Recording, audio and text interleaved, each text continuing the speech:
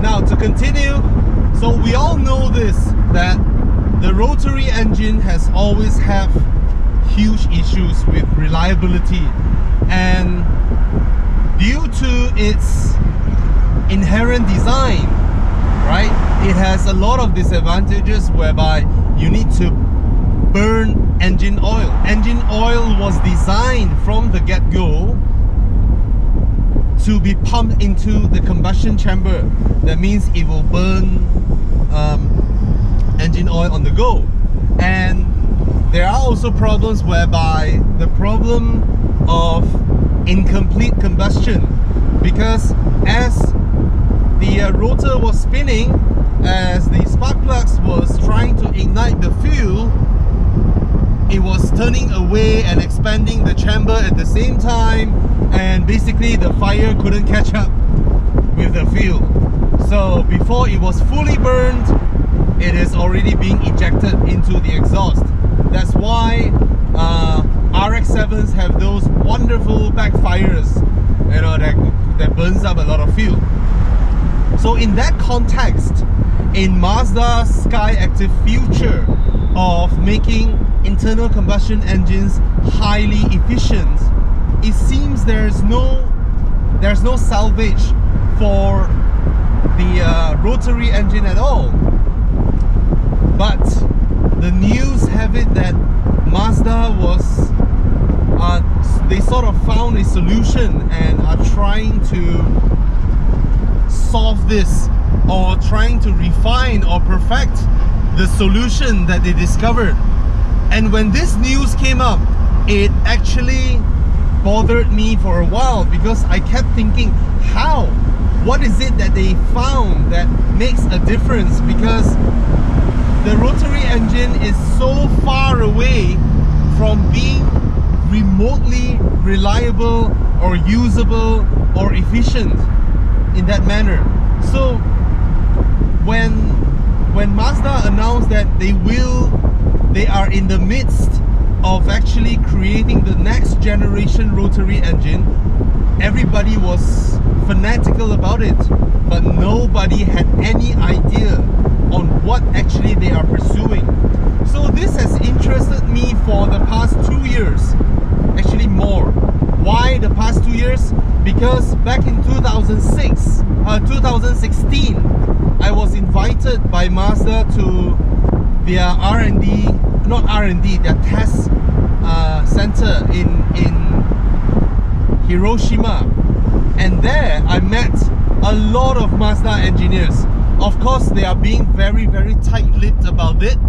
They are not telling me anything, but I remember I kept putting this in in our random conversations, you know, and I received one single word or term, okay, that they are willing to say. So I asked a lot of people, you know, it's not an active interview it's just we were chatting and then I tried to ask it in the most casual manner to try and squeeze out anything that I could. Only one guy in fact I forgot who he was. Only one guy one Japanese guy out of that entire trip uttered one word. And that word is pre-combustion. That's all he's willing to tell me. Pre-combustion that's it. He would not divulge further. He would not say anything further. And that word has bugged me for the past two years. I keep researching and researching and trying to find a solution because when I did my research for the past two years I trace back and trace back and trace back.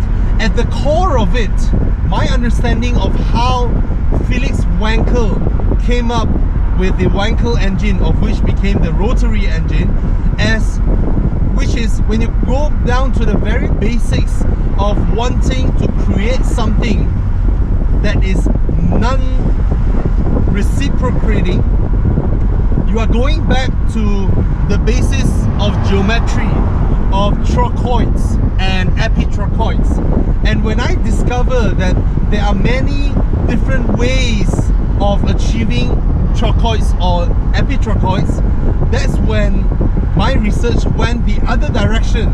You know, at first I was trying to figure out uh, maybe they are using different kind of material, maybe they have uh, they're gonna use graphene or titanium here, tungsten there. But then I realized these are very, very expensive raw materials. It can never be the solution by lightening it because, as I said just now, the rotary engine was beyond redemption in the modern context of internal combustion engine efficiency. It is beyond that. So it cannot be by pursuing the path of lightening the engine. Lightening the engine would, would only yield them 5% or maybe 2% or 3%, which is very, very far off when the uh, rotary engine is at least 50 to 60% less efficient than a Golf GTI engine. It is even less efficient than a Hemi V8. So it cannot be by lightening. So when I trace back all the way to geometry, I found that there is another design that Mazda could have been pursuing to achieve a better design for rotary engine and that design, that geometrical shape actually allows them to do pre-combustion. That word that they tell me, pre-combustion. Now, any one of you who understands rotary engine, Mazda's version of rotary engine, I want you to visualize this. Visualize the peanut shape, the relationship between the peanut shape and the triangle rotor shape. Imagine these two things, right? You have the peanut outside, the triangle inside. Now, I want you to do this. Flip them inside out. That means the outer casing of the engine block of the rotary engine is now in the shape of a triangle triangle. And the piston the one that we call the rotor is now the shape of the peanut shape. By flipping this to the peanut shape's relationship with the triangle maintains. That means it is still able to do its rounds inside the triangle but the three chambers the three chambers would now be the edges of the triangle block the engine block so what this design allows it to achieve is that you have space at the very end to do pre-combustion. Now it has a, a chamber that fuel will be pre-combusted, then only push out to interact with the rotor. That's the first advantage. That will give you the efficiency you needed, right? And lower the emissions because you're burning all the fuel. Secondly, by designing it this way, you can now have equal temperatures in the engine block. Third, remember the apex seals that are mounted on the rotor? The apex seals can now be mounted on the block, the lining of the block itself, instead of on the piston that is constantly moving. So now we have an inverted design of the rotary engine. It allows efficiency, it improves durability, it also improves emission. And I dare say this, they might be able to greatly, to vastly reduce the size of the block. And this has been confirmed with a recent interview by a Mazda executive saying that the engine block of the rotary engine can now be a range extender. That means it is because of its linearity and the efficiency, it can be used to power a generator for the electric uh, electrification or hybridization of Mazda's next flagship sports car. And I was so happy that when he said the engine block can now be maybe the size of a palm. Yes, I have no facts, I have no proof, but I only have two confirmed statements. Pre-combustion and the size of your palm or maybe slightly larger. that's about it. And I've written this article and this video is my intro to that article. If you want to read further or understand further, click the link below and read that article. Cheers guys!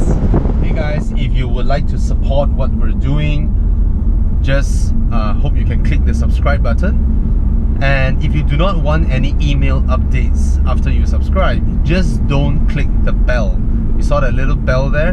Don't click that bell and you're fine. There won't be emails, um, you know, harassing you just as a form of appreciation or encouragement. I hope you can subscribe to our our channel my my own channel and uh, there's Kon's channel there is uh, Fadhil's channel and there's Beng's channel. Hope you guys can subscribe to us. And then if you want to look for us on Facebook it is Aurizn Malaysia on Facebook okay?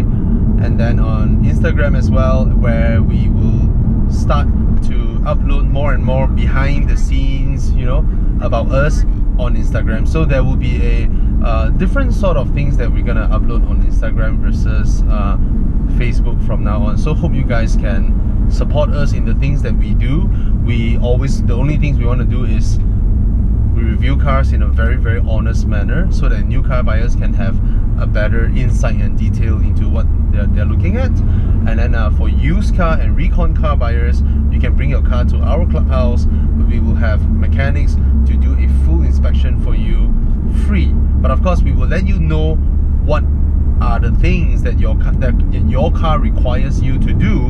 And we even give you the quotation the cost of it and then you can go off. If you want to you can proceed with the job. If you want to it is entirely your option okay? That is what we do for recon and used car buyers and we also do car safety workshops uh, weekend drives uh, long distance drives meetups and the likes of it okay? So thank you so much for your support. We have been uh, really really grateful of um, being able to do the things we like and uh, you guys appreciate that as well thank you so much. Cheers